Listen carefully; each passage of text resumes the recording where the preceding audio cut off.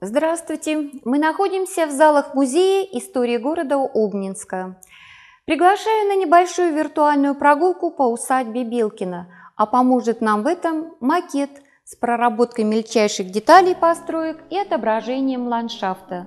Макет был изготовлен в 1995 году московским художником Юрием Владимировичем Морозовым.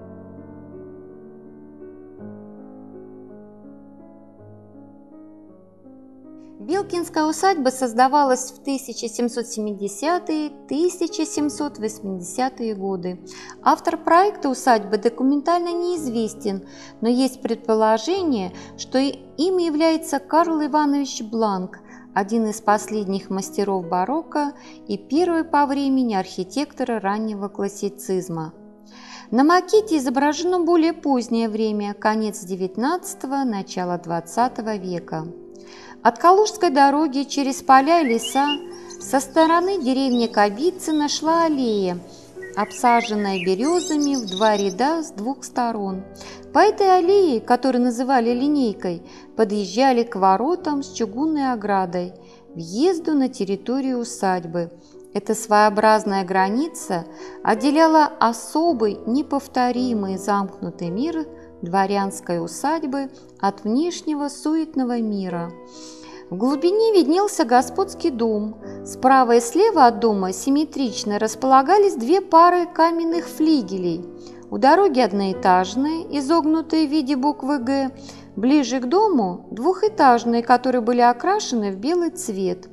Флигели с двух сторон, въездные ворота и чугунная ограда сформировали парадный двор.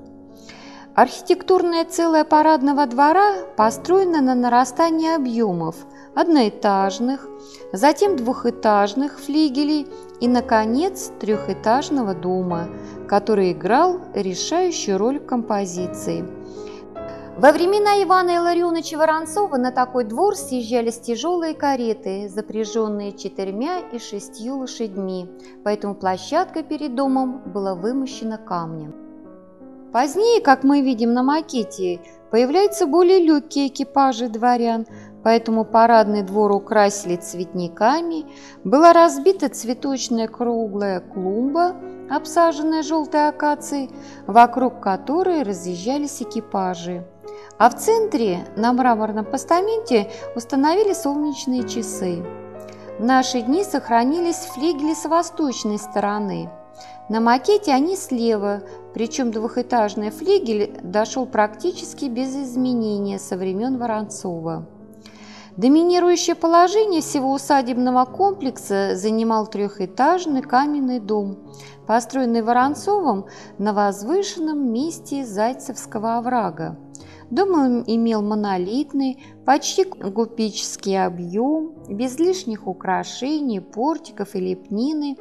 Выразительность оформления фасадов была достигнута за счет применения рельефной облицовки. Нижний этаж отделенный выступающим карнизом, был полностью покрыт рустовкой, так называется декоративная отделка поверхности стены, имеющая вид горизонтальных полос равной ширины, выступающих над фоном. Это усиливало ощущение массивности здания. В центре фасадов и закругленные углы здания также были выделены рустом сверху донизу.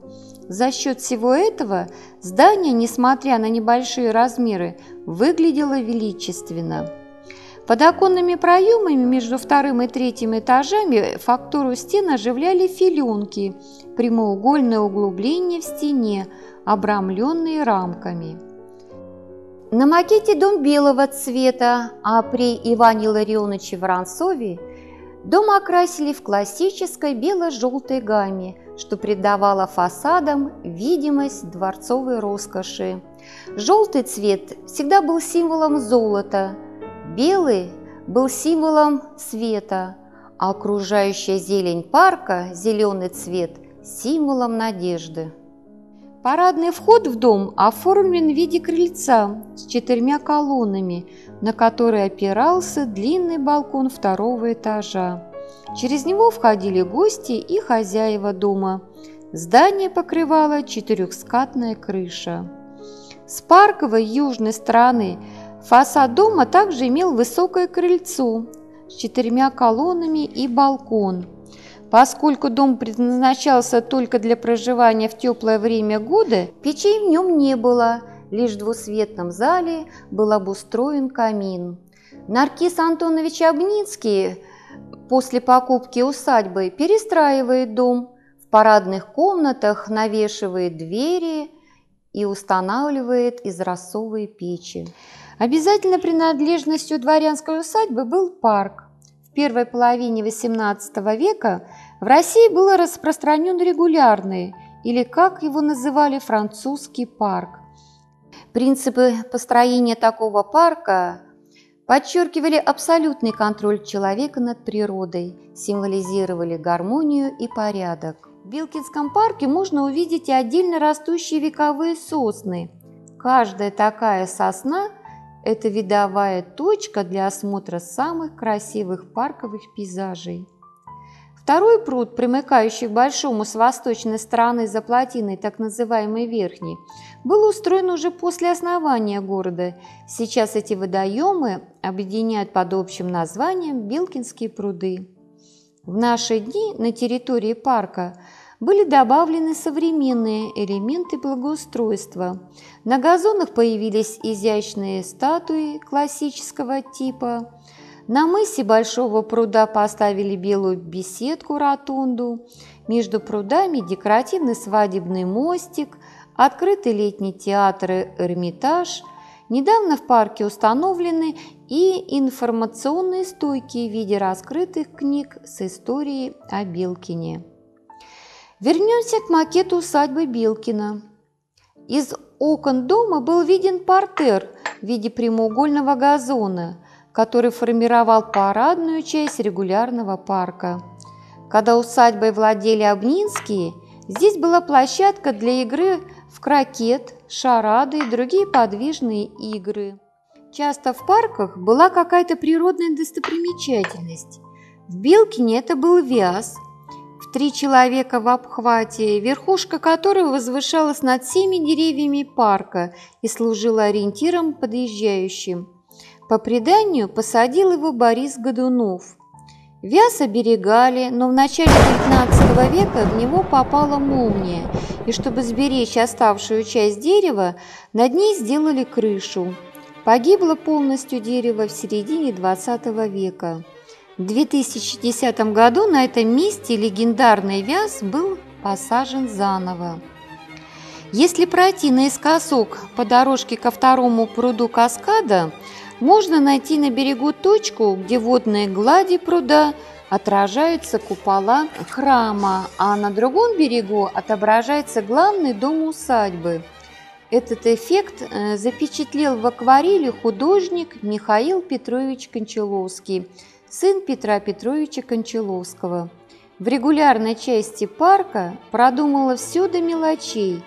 Водная гладь, как зеркало, расширяла пространство. Первым делом, что построил граф Воронцов в усадьбе, это каменный храм на месте обветшавшего деревянного храма в честь святых Бориса и Глеба, который был освящен 13 июля 1773 года.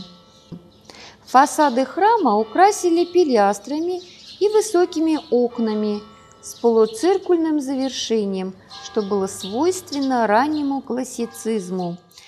Каждому окну соответствовало небольшое овальное окно второго света, характерное для барокко.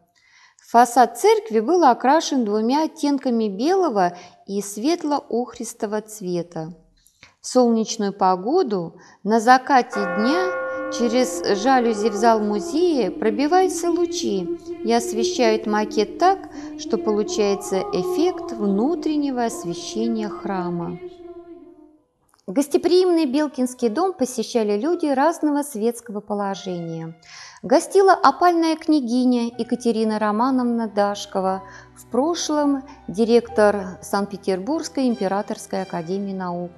До 1812 года часто в Белкино был э, граф, генерал-фельдмаршал, участник Отечественной войны Михаил Семенович Воронцов, в будущем новороссийский бессарабский генерал-губернатор, заказчик и первый хозяин Алупкинского дворца. Гостили родители Пушкина, Сергей Львович и Надежда Осиповна и его дядя Василий Львович.